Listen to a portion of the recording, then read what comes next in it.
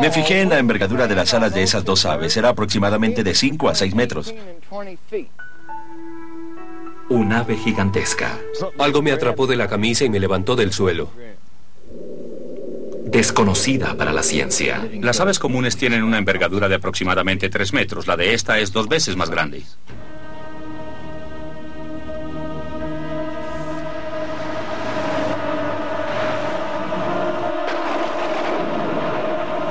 El trueno en sus alas. Sus ojos despedían rayos.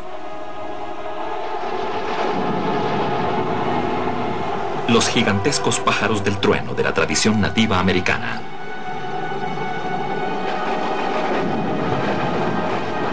Todavía sobrevolarán estas aladas criaturas los cielos tempestuosos.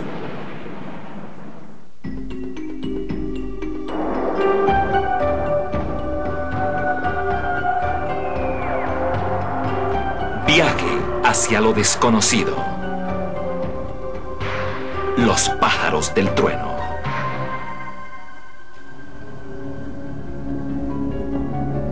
Lowdale, Illinois.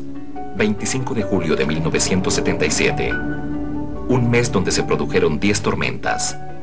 Tres pequeños jugaban a las escondidas en el patio trasero de su casa, blancos fáciles para las dos enormes aves que de repente bajaron en picada desde el cielo. Una de las aves se abalanzó directamente sobre el pelirrojo Marlon Lowe, de 10 años de edad. Salí corriendo. Después sentí que algo me atrapó de la camisa y me levantó del suelo. Luego miré hacia arriba y vi un ave enorme. Entonces comencé a golpearla. Me llevó desde la esquina derecha de la casa hasta la otra esquina.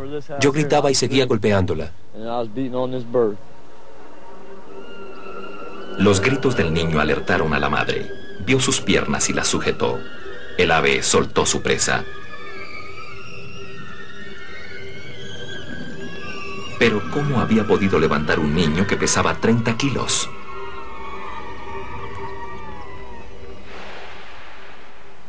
El zoólogo Jeremy Rayner de la Universidad de Bristol es un experto en la biomecánica. Supongamos que un ave realmente bajó y trató de llevarse a un niño. No podía estar tocando el suelo, así que tampoco podía utilizar las patas para saltar. Tendría que realizar todos sus movimientos sostenida por las alas. Tendría que ser un aleteo vigoroso, grande y amplio. Si estuviera cargando su propio peso, volando lentamente y además el peso del niño, lo más posible sería que solo pudiera avanzar unos cuantos centímetros y luego tendría que darse por vencida. Quizás sea esto lo que ocurrió a Marlon.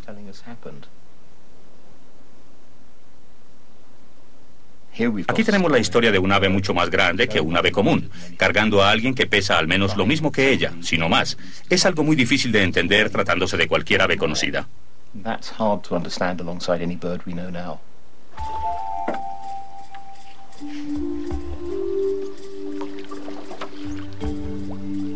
Cinco días después de la aterradora experiencia del niño, un marino de combate retirado y a la vez camarógrafo fue de pesca a un arroyo ubicado a 80 kilómetros de la casa de Marlon.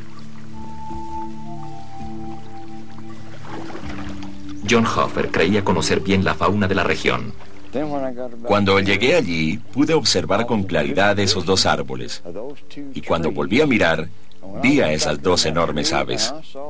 Dejé a un lado mi equipo de pesca y saqué mi cámara de 16 milímetros. Y ahí estaban, descansando, subidas en ese árbol. Encendí la cámara y cuando el motor dio arranque, las dos aves salieron volando.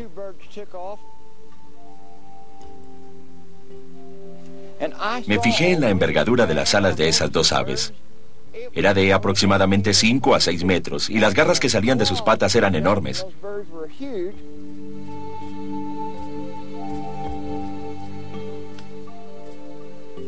Volaron justo por encima de mí y luego hacia esos árboles.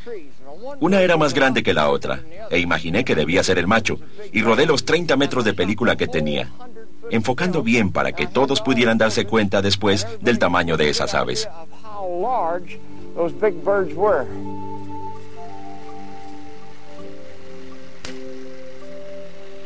El ave descrita por Hofer es dos veces más grande que cualquier ave conocida por la ciencia moderna. La película que Hofer rodó está siendo sujeta a un análisis científico por parte del zoólogo. El doctor Reiner ensaya encontrar una identificación. Cuando usted observa cualquier ave contra un fondo plano no hay escala. Aún si se observa entre los árboles no se puede saber cuán lejos está. Podría tratarse de un ave grande que se encuentra lejos o de una pequeña que se encuentra cerca. Se necesita alguna referencia y no la hay en esta película. Pero la película sugiere algunas pistas muy interesantes.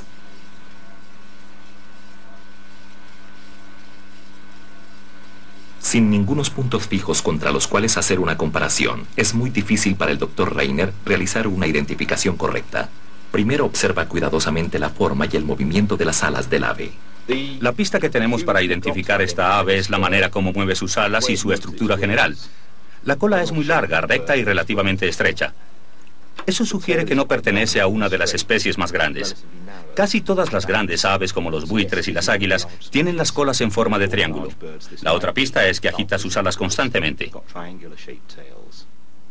Si fuera un ave muy grande, sencillamente no podría agitarlas así, constantemente. Ellas no tienen la energía suficiente ni los músculos para hacerlo. Cuando el ave planea, mantiene sus alas casi todo el tiempo extendidas y curvadas levemente hacia afuera. La especie alternativa obvia sería el gallinazo negro o el gallinazo aura, descendientes de los buitres del Nuevo Mundo. Ambos vuelan con las alas fuertemente empinadas, el ala dirigida hacia atrás en forma de V, y este no lo está haciendo. El ala del buitre es cuadrada. Este tiene las extremidades levemente redondeadas y las plumas dobladas hacia atrás. Es otra de las características de los gallinazos y de las águilas. No podría decir con certeza qué clase de ave es esta. Mi teoría es que se trata de un gallinazo, el génesis de audio. Pero a qué clase de especie pertenece, si es típica de América del Norte o emigrante, no podría afirmarlo. La opinión del Dr. Reiner de que es probablemente un miembro de la familia de los gallinazos es rechazada por los testigos oculares. Como este niño que afirma haber sido raptado por un ave gigante, Marlon Lowe tenía en ese entonces 10 años. La experiencia del chico llenó los titulares de las primeras páginas de los periódicos de Illinois en 1977. La policía que inspeccionó minuciosamente los arroyos y los campos no encontró nada pero Marlon Lowe se mantiene fiel a su historia. Y su madre, Ruth, una campesina familiarizada con la vida silvestre local, dice que el ave no pertenecía a ninguna especie normal. Nunca había visto nada parecido en toda mi vida. Realmente fue algo que me asustó, porque creí que esa ave se llevaría a mi hijo. Después de atraparlo, miré hacia arriba y vi dos aves. Pensé que eran lo suficientemente grandes como para cargarnos a los dos. Lo pensé.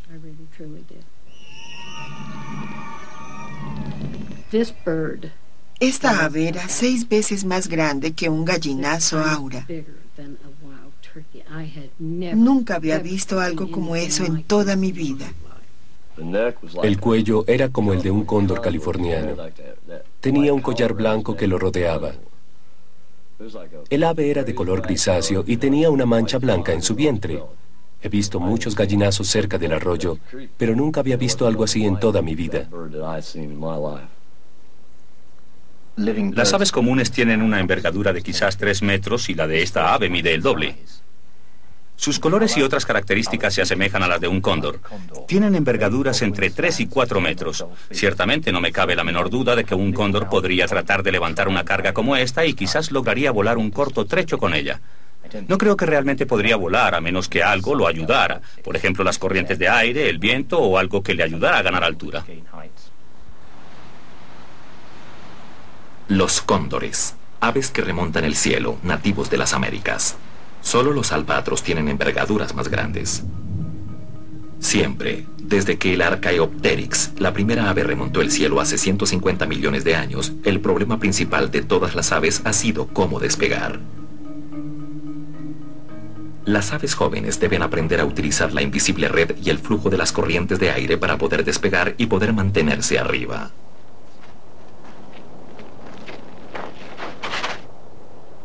En el mundo científico, los meteorólogos estudian estas fuerzas invisibles. En el Centro de Servicios Meteorológicos Nacionales en Denver, Colorado, Eric Thaler se desempeña como el oficial operador. Sus computadores pueden revelar las poderosas corrientes de aire que las aves utilizan para ganar altura, las termales. Una termal se produce en un lugar donde la tierra se ha recalentado, haciendo que el aire se expanda y suba, y luego se ha reemplazado por más aire proveniente de las áreas cercanas. Entonces es como si el aire llegase a este lugar y luego subiera. Y si se es lo suficientemente liviano como esta ave, podría quedar atrapado en una termal y elevarse a grandes alturas.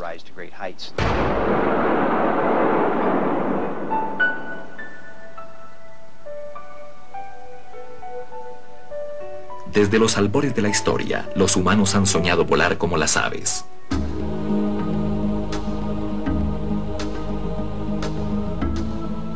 Hoy en día, los planeadores de las suaves colinas de Wisconsin utilizan las mismas fuerzas invisibles que utilizan las aves.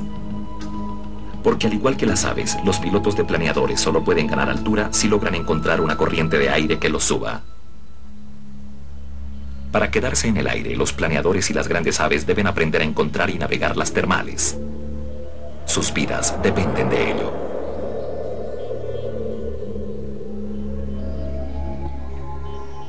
Las aves y los planeadores aprovechan cualquier clase de corriente de aire. Lo ideal es encontrar una termal.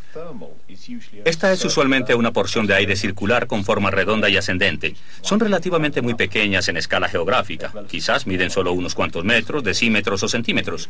Las aves deben quedarse en ellas, por lo tanto, cuando encuentran una, circulan a su alrededor. El problema que tiene cualquier ave es el de levantarse del suelo. Tiene que saltar o trepar, ganar altura por su propio esfuerzo, y entre más grande sea, más difícil le será. Cualquier criatura que quiera volar deberá desafiar la fuerza de gravedad.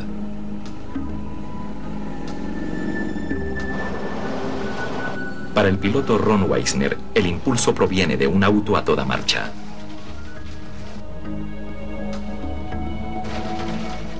Es algo muy simple comparado con el método desarrollado por las aves, cuyas alas batiéndose en el aire crean su propia fuerza ascensional y su corriente propulsora. Pero las aves también dependen de encontrar esas termales. Encontrar una termal no es fácil. No somos como las aves. No poseemos instintos naturales. Ellas llevan haciéndolo miles de años. Utilizamos indicios visuales que nos ayudan a encontrarlas. Observando la Tierra podemos ver diferentes lugares que se calientan irregularmente y a los cuales llamamos lugares de acción. Nuestros mejores indicadores son las aves. Si vemos que una se está elevando, estamos seguros de que hay una corriente en el área, así que nos aproximamos y nos unimos a ella. Esta es una gran sensación, la de unirnos a un ave y volar en el mismo espacio de aire con ella.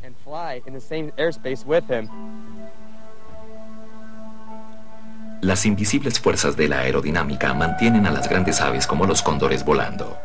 Pero hasta los cóndores lucen minimizados frente a los teratornis, las enormes aves de la prehistoria. Argentavis magnificens plateada, la fabulosa ave argentina. Su envergadura 8 metros. Ha forzado a que los científicos replanteen sus opiniones acerca del posible tamaño de un ave que vuela. Las grandes aves comunes tienen una envergadura de 3 o 4 metros aproximadamente, es lo que normalmente apreciamos. Pero los informes sobre los fósiles demuestran que existían especies mucho más grandes que estas. La más famosa es un animal llamado Argentavis, que existía en Argentina en el periodo miocénico hace 8 o 10 millones de años, parecido al cóndor, excepto que tenía dos o tres veces su tamaño. Ciertamente los huesos son similares a los del cóndor, pero en otra escala. La evidencia nos muestra que esta era un ave ordinaria que volaba perfectamente.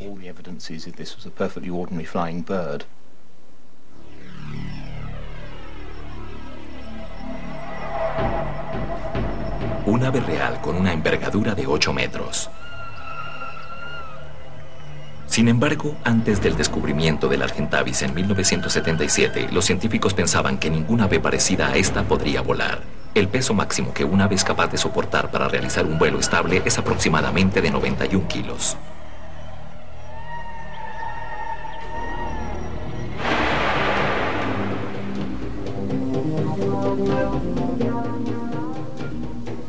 El Argentavis tenía que depender de los fuertes vientos y las altas montañas para mantenerse en el aire y debía utilizar las termales para remontarse y planear. Eso fue hace 8 millones de años pero en las montañas de la Sierra Madre podría una de las grandes especies de aves sobrevivir. Grandes aves se han visto en México. En la ciudad fronteriza de Matamoros, un enorme ave aterrizó en la granja de la familia Barajas. Estaba una palma allí muy alta y miramos el pájaro que andaba vuelta y vuelta y nosotros estábamos ahí parados. Nos asustamos y sentimos miedo y corrimos a avisarle a mi papá. Y él corrió y vino corriendo y, sacó el arma ¿verdad? y entonces el pájaro anduvo volando verdad entonces cuando iba bajando así mi papá le disparó del mezquite ese. Y cayó el, pájaro pero el animal estaba estaba muy grande y tenía las alas bien grandotas. El, animal las era, era plomo gris, gris así algo de plomo verdad el animal tenía un, estaba el pico bien grandote del, animal. Sí, agudo, el pico. No sé qué animal sería, ¿verdad? Porque pues uno casi nunca ve animales de esos. Nomás sé que era muy grande, ¿verdad? Pero no sé qué. Preocupados por la seguridad de los niños, la familia Barajas abandonó su granja. Pero luego del incidente mexicano en 1976, se sucedieron muchos casos hacia el norte a lo largo de la frontera mexicana y al interior de los Estados Unidos. Desde la Sierra Madre en el sur, los avistamientos siguieron dos rutas muy claras. Una a través del medio oeste hacia Illinois, donde Marlon Lowe fue atacado. La otra más al este por entre los Apalaches. Aquí se ve un patrón, y para el científico meteorólogo Eric Thaler el patrón es fácil de reconocer. Las fotografías del satélite esta mañana nos muestran un modelo típico de las condiciones climatológicas de los Estados Unidos. Está el aire que llega del Atlántico aquí, en esta gran presión, y se desplaza. Luego el que llega del oeste y estas dos corrientes convergen aquí. Esto puede crear vientos muy fuertes de hasta 50 y 70 nudos a lo largo de todo Texas y Mississippi, desde Alabama hasta el área de Tennessee, y en todo su recorrido hasta llegar a los grandes lagos. El patrón de los vientos predominantes por todo Norteamérica es algo muy fácil de ver. Y estos vientos ayudan a las aves en sus largas migraciones. Periódicamente el aire caliente llega del sur asociado con muchas tormentas y vientos muy fuertes. Luego, dejando atrás el sur, pasa por sobre las grandes planicies del medio oeste. Un ave muy grande debe encontrar esos vientos y así viajar gratis gastando menos energía en su travesía. Por lo tanto, lo más probable es que las aves aparezcan en esos lugares al mismo tiempo que las tormentas. Las aves tienden a volar delante de la tormenta. Los meteorólogos también las pueden observar. Diagramando el movimiento de los sistemas meteorológicos por computador, analizando los cielos por radar, Eric Thaler puede ver las aves en la pantalla. Lo que podemos observar en este tiempo es una gran área de tormentas en las afueras del noroeste de Houston que se está moviendo y desarrollando en este territorio. A esto se le conoce como zona de ráfaga, simplemente un área de lluvia muy fuerte, vientos fuertes, rayos, una zona de clima intenso. Todos estos pequeños y menos iluminados ecos en las afueras de la costa son aves. Es interesante que anteriormente en esta foto se había formado una brecha entre la zona de ráfaga y las aves, lo cual quiere decir que evidentemente están tratando de evitar la zona de ráfaga y alejarse de la tempestad.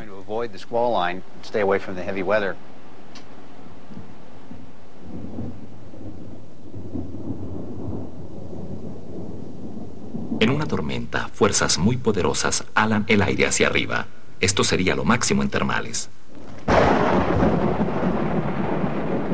A medida que desciende la presión, enormes masas de insectos son succionadas al interior del aire húmedo y caliente frente a la tormenta. Los insectos atraen a las aves hambrientas. ¿Podría esto explicar la antigua leyenda de los pájaros del trueno? A lo largo de las grandes planicies, los nativos norteamericanos cuentan historias acerca del formidable pájaro del trueno. John Hoffer, el exmarino camarógrafo que filmó a las grandes aves, es el jefe de los algonquinos, antigua tribu de Illinois. Hace 150 años, esta era una pradera salvaje. Se podía mirar sobre ella y encontrar pastos gigantescos, tan altos que llegaban al hombro. Los pájaros del trueno llegaban y volaban sobre los pastizales, observando a nuestro búfalo amado. Miles y miles de ellos, que engendraban muchos otros búfalos pequeños.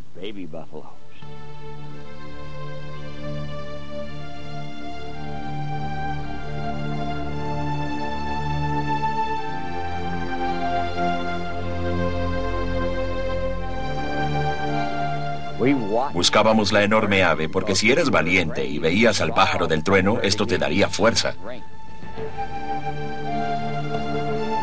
60 millones de búfalos, cazados hasta su extinción durante el siglo XIX por los colonos blancos.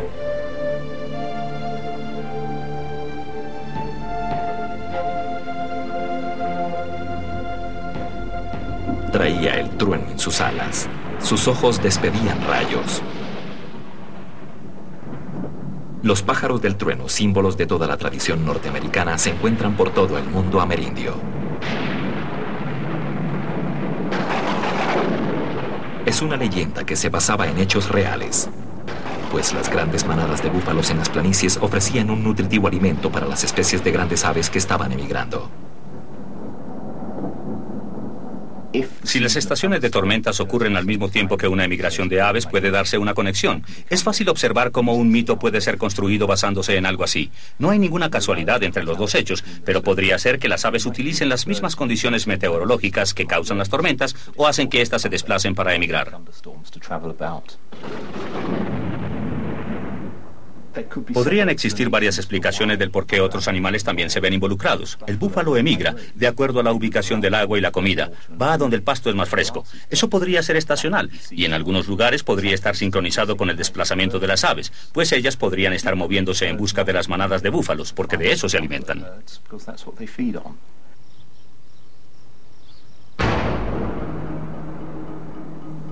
Aves inmensas alguna vez siguieron al búfalo. Pero los granjeros transformaron el paisaje, convirtiendo los pastizales naturales en praderas cultivadas. Sobrevivirían las aves. En Carolina del Norte la leyenda persiste. Los cherokees creen que sus antepasados convirtieron las montañas Val en observatorios para defenderse del inmenso animal que se robaba a sus niños. Lloyd Arnish nos relata la historia. En los viejos tiempos, los niños subían a la montaña a jugar. Un día, quienes habían subido a la montaña no regresaron. La gente comenzó a preocuparse, sabían que algo se estaba llevando a sus hijos. Así que fueron donde el chamán y le preguntaron si podía hacer algo. Él les dijo, regresen a sus casas y manténganse escondidos, esta noche no salgan.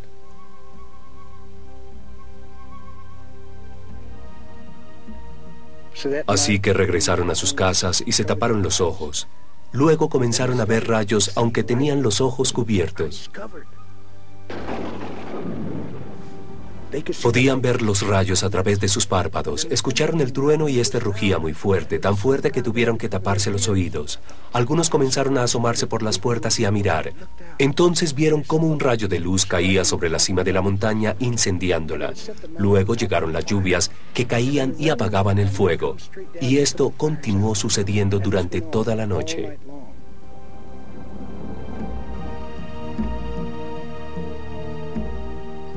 A la mañana siguiente salieron y observaron la montaña, pudieron ver el lugar donde había sido devorada por el fuego y subieron a investigar. Y allí, en la montaña, encontraron los huesos de varias aves gigantes y comprendieron que habían sido estas aves las que se habían llevado a sus hijos.